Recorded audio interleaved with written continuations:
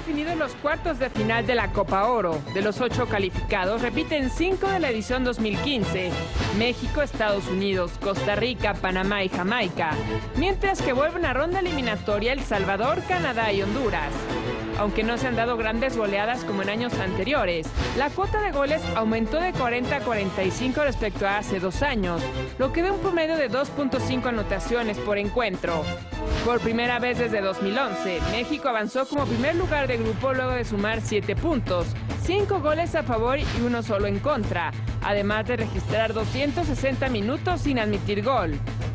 De los 23 convocados, solo Orbelín Pineda, Jesús Gallardo, Elías Hernández y Edson Álvarez participaron en los tres cotejos.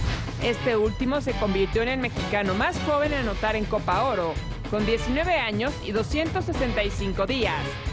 En cuartos, el cuadro azteca se verá las caras con Honduras, que avanzó pese a no tener goles a favor. Será el sexto duelo entre ambos en el torneo de CONCACAF, con dos triunfos mexicanos en 1998 y 2011, dos empates 91 y 2003 y una victoria catracha en 2007.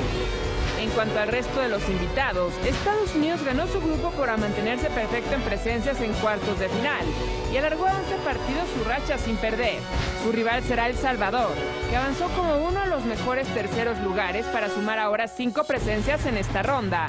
Los norteamericanos dominan la serie con cinco triunfos frente a la selecta, el mismo número de choques en Copa Oro. Costa Rica cumplió con los pronósticos en el Grupo A y se ha quedado en la cima con siete unidades. Ahora el reto es avanzar a semis donde no llega desde el 2009. Para ello debe vencer a Panamá que se ha acostumbrado a seguir avanzando, pues está por séptima vez al hilo en cuartos y en tres alcanzó las semis. Además, Canadá vuelve a esta instancia tras ocho años ausente y lo hace con paso invicto y el goleador del torneo en sus filas, Alfonso Davis. Su rival es Jamaica, que quiere repetir la buena actuación del 2015. Dos triunfos canadienses y uno jamaiquino. Es el saldo entre ellos en la competencia. México, Estados Unidos y Costa Rica se mantienen como los favoritos al título en esta Copa Oro que esperemos suba de nivel.